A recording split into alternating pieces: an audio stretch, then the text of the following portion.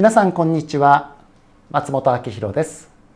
今回はチャンネル登録4000名記念特別企画として18歳以下の方々のご質問に答えています。本当は1回でまとめようと思ったんですがどんどん長くなってしまいましたので前半と後半に分けさせていただきました。それでは今日はここから後半を始めたいと思います。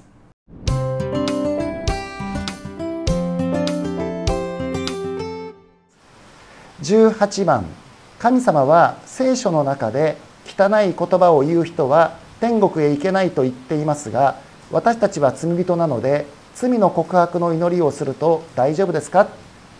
汚い言葉を言うだけではなくさまざまな罪を犯す。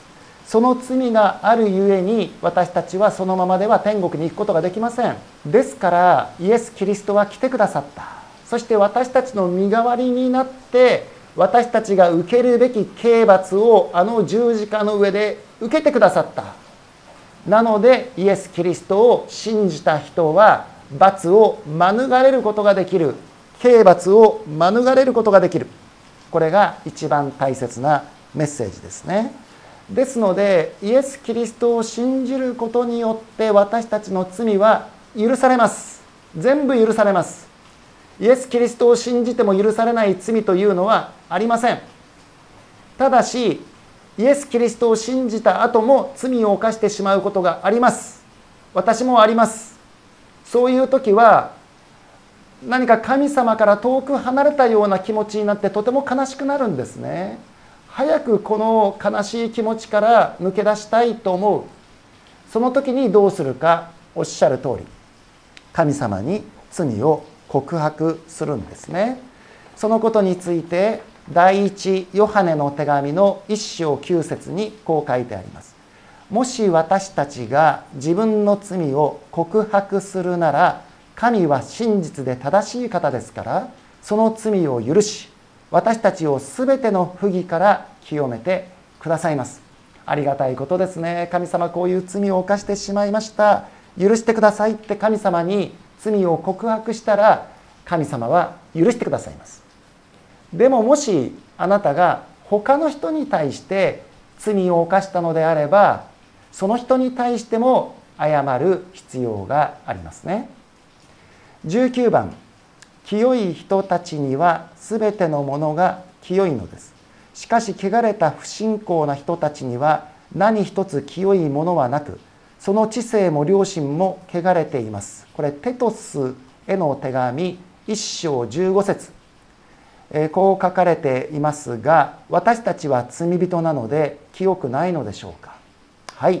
私たちは罪人ですから清くないです。ですから私たちは全員イエス・キリストを信じる必要があります。イエス・キリストを信じることによって罪許されて清いものとさせていただけます。20番イエス様は映画に出てくるように白人ではなくて中東系の人の可能性がありますか？可能性があるだけではなくて間違いなくそうです。ハリウッドの映画でイエス様が出てくると大体ブロンドヘアの青い目をした白人ですがそんなわけはありません。イエス様はユダヤ人です。中東の人です。だから、えー、ああいう白人系の顔をしていないと思いますね。何年か前にこうイエス様の顔の復元をしようとした人たちがいて研究家がいましてそれがインターネットに載りましたがまあちょっと見るとがっかりするような顔でした。それは想像にしか過ぎないんですが少なくとも言えることはイエス・キリストは中東系の人ユダヤ人の顔をしています。21番最近ずっと神様に何々が良いからお願いしますという祈りばかりしていますが間違っていますか？お祈りすることは素晴らしいことですね。そしてあなたがこれがいいと思いますので神様お願いしますっていうのもよろしいと思います。でもそれが本当にいいかどうかは神様が一番よく分かってますね。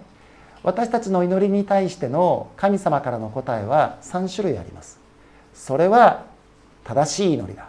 はい答えをあげようっていう場合。2番目はそれは正しい祈りだけどもまだあなたにそれをあげるのは早いから待ちなさいという場合。3番目はそれはあなたにとって良くないから私はあげませんという場合。3通りの答えがあります。お父さんやお母さんもあなたに一番良いと思うものあなたよりずっと長く生きてきた人としてあなたにとってきっといいと思うものを与えてくれてると思いますが神様はもっと完璧な方ですからあなたにとっていいものを与えてくださる。マタイの福音書の7章11節をお読みします。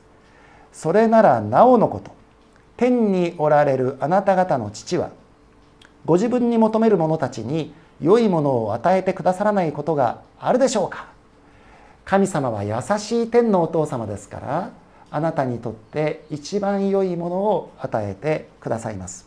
22番教会のクリスマス会で子供は初めてクリスマスはイエス様の生まれた日だと知りました。その時に息子に聞かれたのですがサンタクロースとはどういう関係なのかと聞かれました。教えてください。はい。まず第一にクリスマスはイエス様の生まれた日。これは間違いです。イエス様が何月何日に生まれたかは誰も知りません。イエス様の生まれた日ではなくてイエス様の誕生をお祝いする日といえば正しいですね。イエス・キリストが天に帰って500年ぐらい経ってからでしょうかね。そういえばこの方の復活の日だけではなくてこの方の誕生の日もお祝いしたいと思ったけども記録が残ってないから何月何日に生まれたか分かんない。じゃあ何月何日にイエス・キリストの誕生のお祝いをしようかっていうふうに考えたんです。そしてそれはヨーロッパの話ですけれどもですから北半球ですね。冬至って分かりますか？12月の21日か22日。1年間で一番昼が短い。時ですね昔の人たちはだんだんだんだん昼が短くなっていくのを見てああこのまま太陽が死んでしまうんじゃないかと思ったら21日22日を過ぎてからまただんだん日が長くなってよかった太陽は死んでなかったっていうことで昔の人たちがその時に不滅の太陽の復活日っていうお祝いをしていたんだそうです。それに対して当時のクリスチャンが世の光として来られたイエス様を記念するのにぴったりじゃないかということで12月25日にしたんですね。ですから1年間で一番暗いそれが終わった直後にあの暗闇の中に光が灯る。だからクリスマスツリーの明かりが綺麗ですね。札幌なんかはホワイトイルミネーションが綺麗ですけれどもその季節になったんです。ですからイエス様がいつ生まれたかは分かりません。サンタクロースとの関係ですがこれはおそらく4世紀頃でしょうかセント・ニコラウスという人がですね何かプレゼントをあげたっていうそのことが伝説として伝わってセント・ニコラウスがサンタクロースになったんだそうです。これはただの逸話ですね。本当にあったことなのかどうか分かりませんがそこから話が大きくなって煙突から入ってくるとかっていう話になっただけでまあ今はですねイエス様よりもサンタクロースの方が有名になっちゃったので中にはクリスマスっていうとサンタクロースの誕生日ですかって言われることがあるんですがそうではありません。イエス・キリストの誕生をお祝いする日ですね。それでは23番です。僕は神様を信じているけれど時々お祈りしたのに全然聞かれなくてもうって神様に思ってしまうことがあるからそういう気持ちが出ちゃうのは神様を心の底から信じられていないんじゃないかと心配になる。だから僕は神様を信じてますって思ってるけどももうっていう気持ちが起こるってことは本当は信じてないんじゃないだろうかってことで心配になるってことですね。お父さんやお母さんがあなたにとっていい人だって信じてると思います。でもお父さんやお母さんがあなたにとってこれはいいからやりなさいって言ってることがどうしてそれがいいのかわからないっていうことがあるかもしれませんね。同じように神様があなたに対して考えていること。今本当にそうだ。神様の考えていることは一番いいって全部わからないかもしれない。でもあなたは神様は素晴らしい方だ。僕のことを大好きでいてくれる方だっていうことを信じてます。だからあなたは間違いなく神様のことを信じてると思います。だんだんだんだんやっぱり神様のしてくださることが一番いいことなんだっていうことが分かってくると思います。24番おじいちゃんとおばあちゃんは神様は信じないとずっと言っているけれど僕も小さい頃から神様を知らなかったらおじいちゃんやおばあちゃんみたいに急に神様がいるんだよって一生懸命言われても信じられないと思うんだ。どうしたらいいのかな？そうですね。お父さんとお母さんはクリスチャンですか？小さい時から神様のお話を聞けてイエス様のお話を聞けて素直に信じることができたっていうことはとっても素晴らしいことだと思います。感謝してください。僕の家はそういう家じゃなかったから自分で探してイエス様を17歳の時に信じたんですね。でもクリスチャンホームに生まれた子供が全員イエス様を信じるかといえばそうとも言い切れません。それでも信じない人はいるんです。だからあなたが信じられたってことは本当に神様の恵みだと思います。そしてクリスチャンホームに生まれてない人でもおじいちゃんやおばあちゃんになってああ神様がいたんだっていうことが分かる人もたくさんいます。だから諦めないでおじいちゃんおばあちゃんのためにお祈りしましょうね。25番毎日おじいちゃんとおばあちゃんが神様を信じられますようにってお祈りしてるけどどうしたら信じてくれるかな？本当に幸せなおじいちゃんおばあちゃんですね。お孫さんからこんな風に思われてお祈りしてもらってこんなに幸せなおじいちゃんおばあちゃんそういないなと思います。創世紀18章を見るとアブラハムさんのところにイエス様が来てソドムという町を滅ぼしますって言ったんです。アブラハムさんはガクガク震え始めました。なぜならばソドムには自分の甥っ子のロトが住んでいるからです。ソドムが滅ぼされたらロトも一緒に滅ぼされてしまうと思って一生懸命神様にお祈りをしたということが書かれています。その結果どうなったでしょうか。ソドムは滅ぼされました。でもロトはそこから助けられたんですね。神様は私たちの祈りに耳を傾けてくださいます。おじいちゃんおばあちゃんのためにお祈りすることは絶対無駄になりません。でもお祈りすると同時におじいちゃんおばあちゃんとお話しする機会があったら神様のこと話してみてください。神様がこの世界全部作ったんだよ。そしてイエス様のことを話してみてください。イエス様がおじいちゃんおばあちゃんのこと大好きだから代わりに十字架で死んでくれたんだよ。私は僕はおじいちゃんおばあちゃんとずっと同じ天国に行きたいんだっていうことを言ってあげてください。おじいちゃんおばあちゃんもあなたとずっと天国で一緒にいたいと思っていると思いますね。それでは26番です。神様とイエス様は同じ人なの、えー、まず人ではないんですね。イエス様は神様でしたけども人になってくれました。これは三位一体といってすごく難しいんですが父なる神と子なる神これがイエス・キリストです。そして聖霊なる神。三者いらっしゃる。三人いらっしゃる。えー、神様って三人いるの？でも一人なんですっていう。難しいですね。これは私たちにとっても難しいんですけどもこれを説明する方法があるかなって僕も随分考えました。この世の中に2人なんだけど1人だよっていうものってありますか？一つだけありますね。夫婦です。あなたのお父さんとお母さん。お父さんとお母さんは別の人ですね。でも2人で一つなんですって。面白いですね。一心同体って言うんですでも私たちは罪があるからどうしても喧嘩しちゃったりぶつかったりすることがあるんだけども神様の場合は完璧な方なのでそこにぶつかりもないし喧嘩もないし完全なハーモニー完全な調和を保っているから3者いらっしゃるけども1人って言っていいんです。ということで父なる神様とイエス・キリストは別の方です。だからイエス・キリストはこの地上にいた時にいつも父なる神様に祈ってました。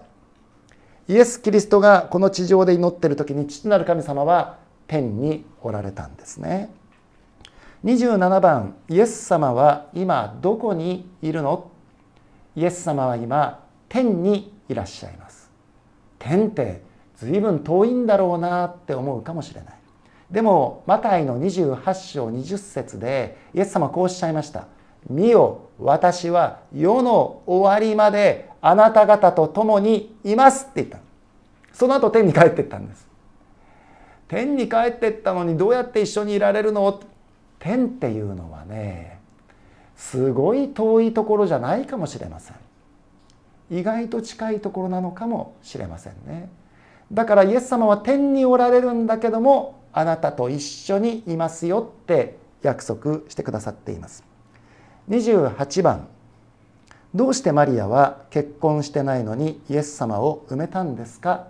これはマリアも持った質問です。天使ガブリエルがあなたは男の子を見ますって言ったんだけども私はまだ結婚もしてないのにどうしてそういうことがありえましょうかって言ったら天使ガブリエルがこう答えたんです。ルカの福音書1章35節。精霊があなたの上に臨み糸高き方の力があなたを覆います。それゆえ生まれる子は聖なるもの神の子と呼ばれます。普通は結婚しないと子供は生まれません。でもこの時は特別に精霊がマリアの上に臨み糸高き方の力神様の力がマリアを覆ってマリアの体の中にイエス様を与えてくださった。これが聖書の答えですね。29番。松本先生はどうしてそんなに話が上手なんですか？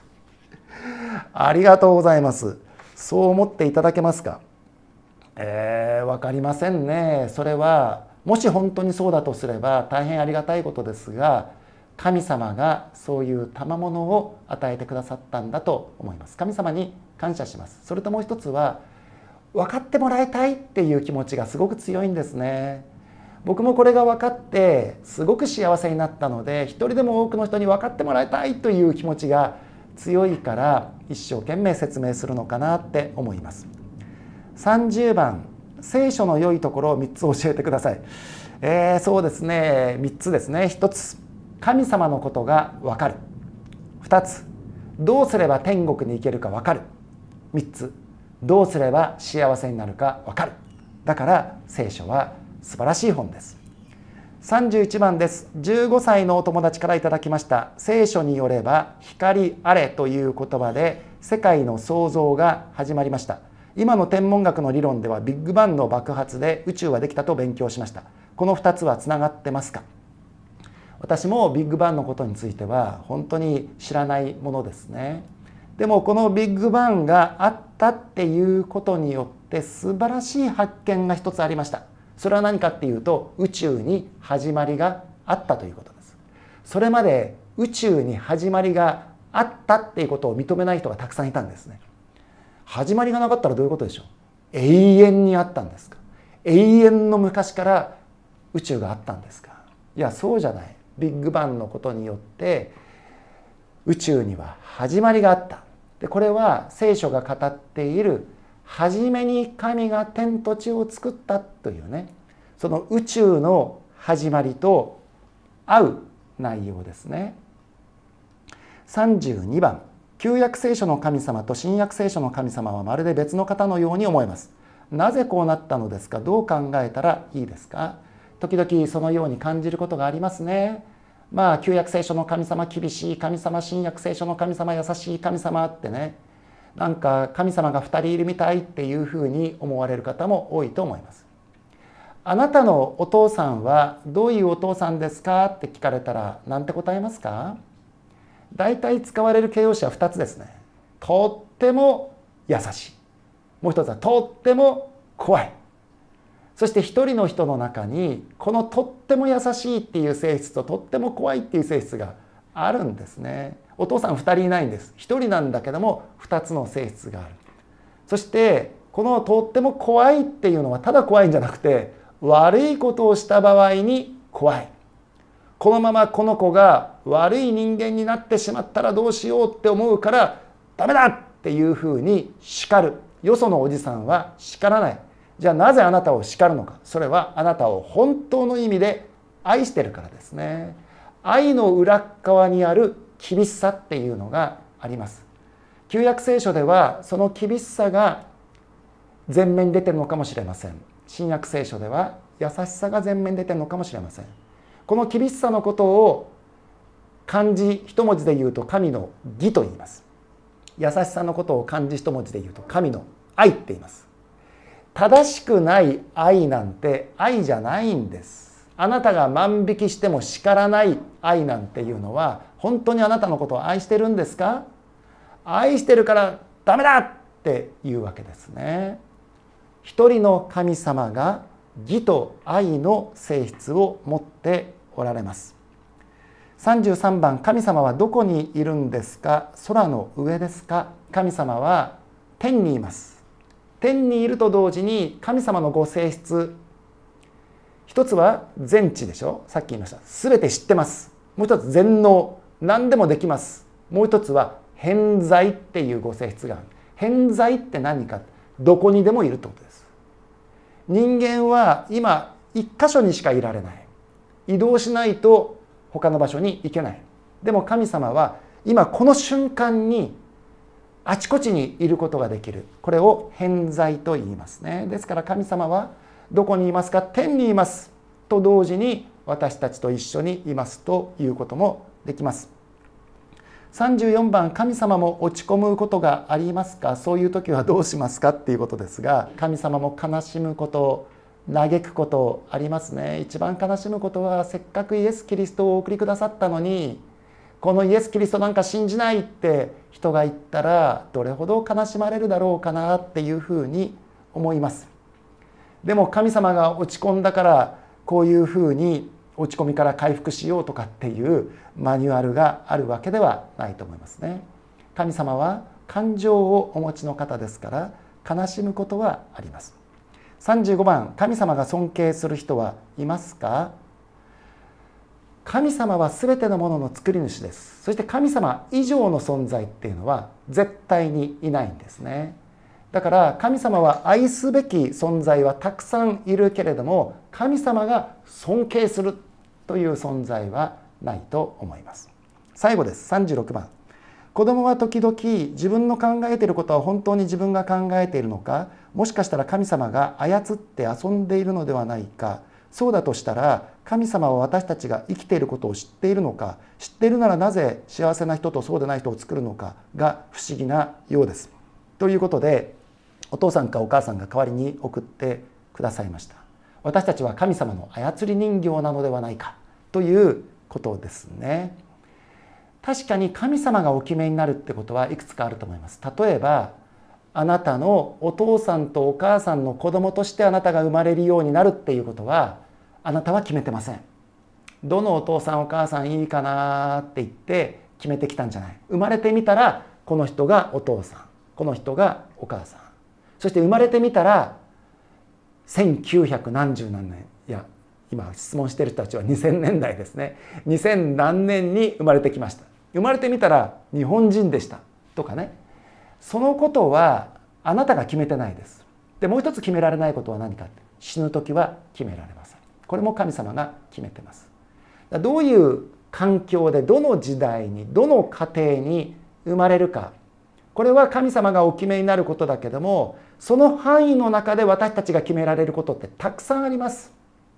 今朝は卵焼きにするか目玉焼きにするか。今朝はこの服を着るかあの服を着るか。あなたが決められることたくさんあります。そしてあなたが決めた結果あなたは幸せになることもできるし不幸になることもできる。私が不幸になったのは神様のせいだとは言えない。もちろん制限があるんですがその制限の中で私たちは精一杯自分が正しい選びをし正しい努力をして生きていくという自由は与えられている。そして神様は全ての人に幸せになってほしいと願っておられるお方です。最後までお付き合いくださってありがとうございました。え5000名記念はですねえ私がえ行っている教会にバスに乗って皆さんをご案内したいと思いますからえ次回は気楽に見られる内容ですので今日長かったことご容赦いただきたいと思います。それではまた松本牧師の YouTube 聖書講座でお会いしましょう。ありがとうございました。